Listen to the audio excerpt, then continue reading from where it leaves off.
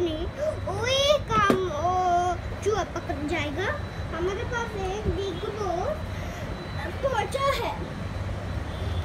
उस, उसको मेरे ग्लू डालकर ग्लू डालकर हम केक रखते हैं तो चिपक ही जाएगा वहाँ अच्छा वही वही हम लोग कर रहे हैं वही तो काम है वही तो कर सकते हैं हम लोग और केज ले आप केज लेकर आ सकते हो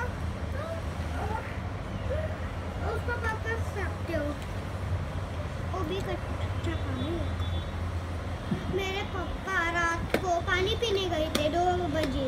तभी वो चूहा पक कर आ गया। हमने देख आपने देखा क्या? कैसे आ गया अंदर। अच्छा हम लोग सो रहे थे।